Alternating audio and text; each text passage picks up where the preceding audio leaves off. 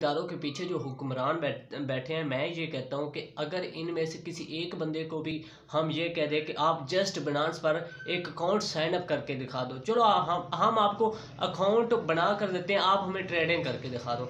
यार, इन बंदों को कख नहीं पता और पीछे पड़े हैं ये वकार जका के क्रिप्टो को यार पाकिस्तान में बंद होना चाहिए क्रिप्टो को बंद होना चाहिए। यार, इन लोगों को, मैं इन लोगों से ये पूछता हूँ, मेरे पास ऐसे लफ्ज़ नहीं है कि वकार जक्का से हमने आप लोगों को ये तो नहीं सिखाया कि आप आउट ऑफ़ कंट्री जाए, किसी से खैरात वगैरह मांगे।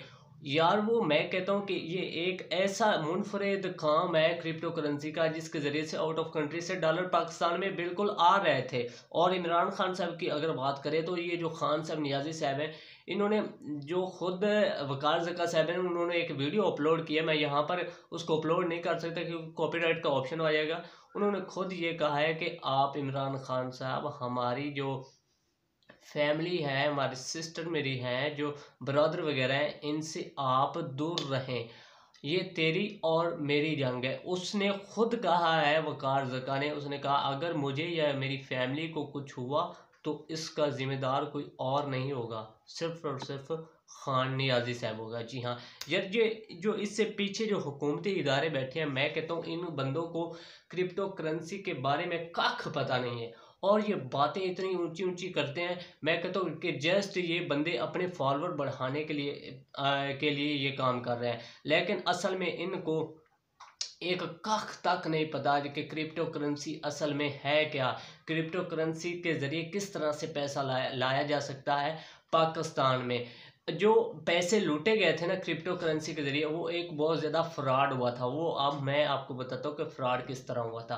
फ़र्ज़ किया एक बंदा है वो आ, ए, आप करते हैं ट्रेडिंग क्रिप्टो करेंसी पर। आपको ट्रेडिंग करना नहीं आती फ़र्ज़ किया। तो एक दूसरा बंदा आता है वो आपको कहता है कि आप मुझे पैसे दे दो मैं आपको पैसे डबल करके दे दूँगा। तो लोगों ने ऐसा किया कि दूसरे बंदे को पैसे देने शुरू कर दिया बिना इस वजह के वो खुद उस ट्रेडिंग पर ट्रेडिंग करके पैसा कमाए। जब एक बंदा दूसरे बंदे को पैसे देता है तो अगला बंदा तो जहर है उसने खाने थे। अगला बंदा खा गया और इसका जो जिम्मेदार है, वो वकार जकर साहब को ठहराया जा रहा है।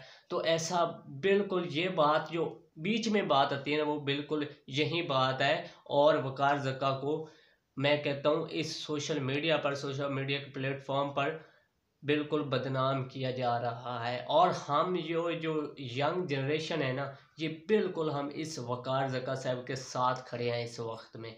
तो हमारे इस यूट्यूब चैनल के साथ जुड़े रहें और तब तक के लिए इजाज़त चाहते हैं। अल्लाह ने के बाद